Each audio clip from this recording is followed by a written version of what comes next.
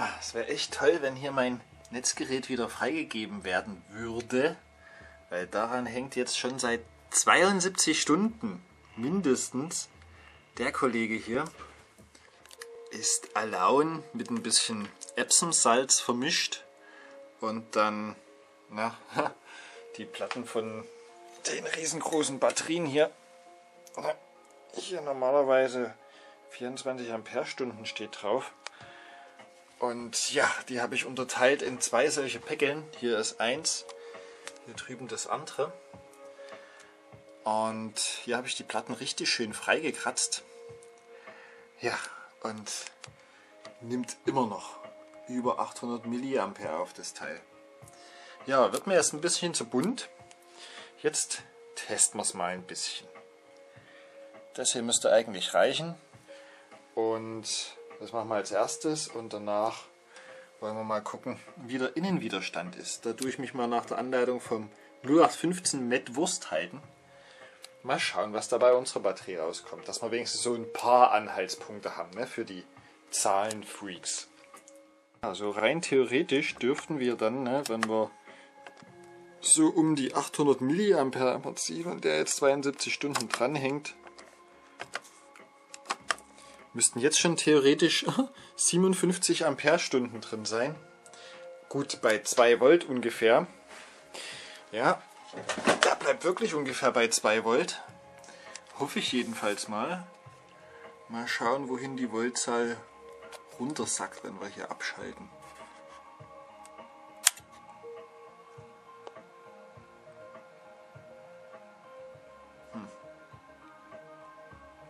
Immer noch schön über 2 Volt, ne? Ich schalte nochmal ein. Das wird geladen. Mit 2,5 wird 2,5 Volt wird geladen ungefähr, ne? Ja, okay. Nochmal ausschalten. Ja, so bei 2 Volt ungefähr ist es, ne? 2,1, 2,2 Volt. Mhm. Klar, es pendelt sich langsam ein. Und so schaut er im Licht aus. Er hat keinen Muxer gemacht, während er geladen hat. Ne? Normalerweise hört man da ja immer irgend so ein Blubbern oder irgendwelche Knistergeräusche. Ne? Aber hier, er ist ein bisschen wärmer als die Umgebung. Ne? Also noch nicht, noch nicht handwarm, aber man merkt wärmer als sonst. Und ich glaube, dass auch, jawohl, er dehnt sich ein bisschen auseinander. Ne? Also so kommt mir das jetzt jedenfalls vor, weil hier kommt jetzt schon das Kristall durch. Mhm. Ich glaube, der sieht ein bisschen fetter aus als vorher, aber nur marginal. so, mal noch so 10 Minuten warten wir ungefähr nochmal, ne? 10 Minuten, Viertelstunde und dann gucken wir mal, wohin sie es eingependelt hat. Und dann starten wir. Jetzt haben wir lange genug gewartet. Das ist jetzt die stabile Voltzahl. Mal gucken, was er für einen Kurzschlussstrom hat.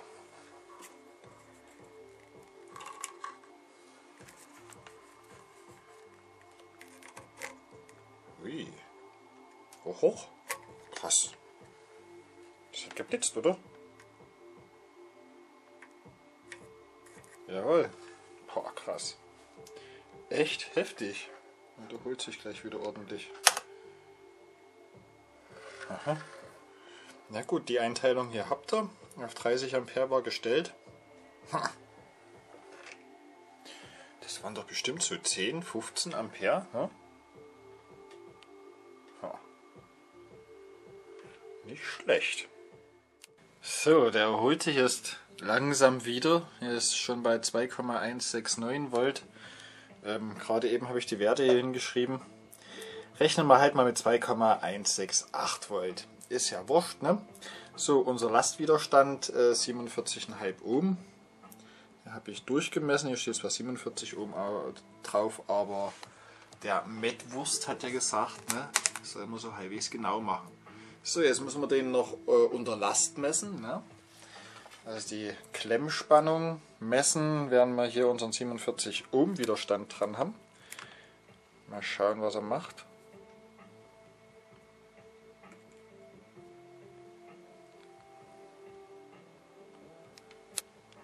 Aha. Okay, dann rechnen wir mit 2162, okay?